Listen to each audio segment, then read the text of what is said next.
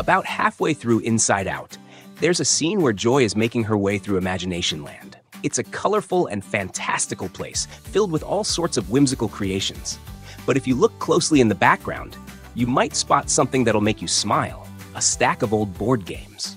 Right on top of that stack is a blue box for a game called Find Me. And guess who's on the cover? It's Nemo from Finding Nemo. This clever Easter egg is a fantastic nod to another beloved Pixar film.